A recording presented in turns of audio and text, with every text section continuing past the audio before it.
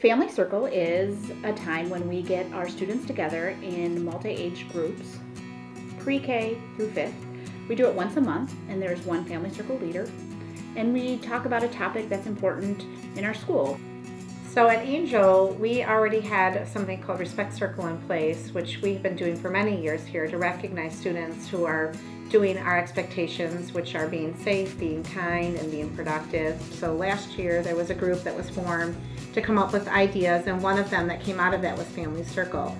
We had seen that it had worked at many other schools, and we had heard good positive feedback, so we knew it was something that would be um, a good fit here at Angell. For our middle grades, our second, third, and fourth graders who are not quite the littlest and they're not quite the oldest, we really are hoping that they are forming relationships and um, becoming the core of our family circle because they will we remain in our family circle the entire time. One of the really nice things about family circles is this common language that we have throughout the whole building. On the playground as we're walking in the hallway we know that every child has had the exposure the discussion the conversations with each other the examples the role play the game all surrounding the same. You know, we did empathy the other day and we hear teachers talking about empathy. We know email goes out to families and they know that we talked about empathy. Our children are using the words.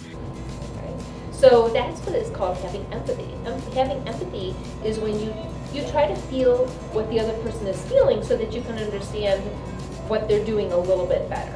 Um, we learned about having empathy for others.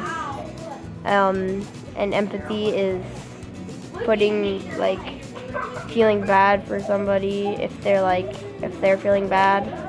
This is really important to us because as we build our community, we want students to be able to walk up and down those hallways and see their quote family members. When they see their family members, it gives them a little bit more of a, a confidence, uh, feeling like they're supported. Um, also, when they see them in the lunchroom and on the playground and in the community and at sporting events and at the ice cream social and all those other events, it's a point of pride to be able to say, that's my family, that's someone in my family. It just creates this connectedness. Um, I like Family Circle because like you spend time with people at the school that you most likely don't know that are in your class and grade. So fifth graders this was an important role for them when they came to pick up the younger students. They were really took a, a responsibility to take care of these students. Um, it really was help was good for them too because they had a sense of leadership um, in the whole process of our family circle. So looking forward to next year, I think what's really exciting is that the majority of the whole school community is going to get what we're doing and it's going to be able to start from the get-go and we'll just be able to move forward with it. What we will need to do is welcome our new kindergarten students and our TK students to their new families.